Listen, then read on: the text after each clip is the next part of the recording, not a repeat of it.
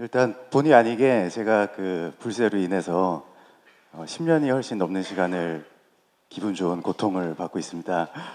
어, 근데 그때하고 캐릭터가 다르게 그때는 이제 굉장히 재벌 2세면서 어, 매력을 어필하려고 노력하는 남자였었고 지금 제가 맡은 역할은 사랑하면 안 되는 여자한테 어쩔 수 없이 조금씩 빠져가는 그런 느낌이기 때문에 자기도 모른 채 계속 표현을 안 하면서 잘해주고 있는 그런 어, 어떻게 보면 정반대인 캐릭터라서 어, 아직까지는 뭐 특별한 유행어가 나오진 않았고요.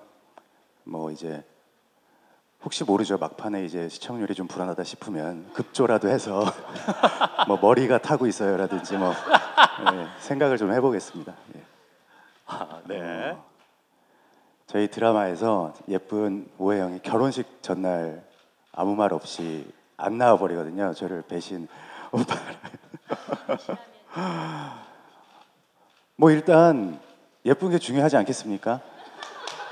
어, 꼭 예쁘다는 게 얼굴이 예쁜 오해 형이라고 어디 있어 있습니까? 마음이 예쁠 수도 있는 거고, 네 예쁜 오해 형을 노코멘트 하겠습니다.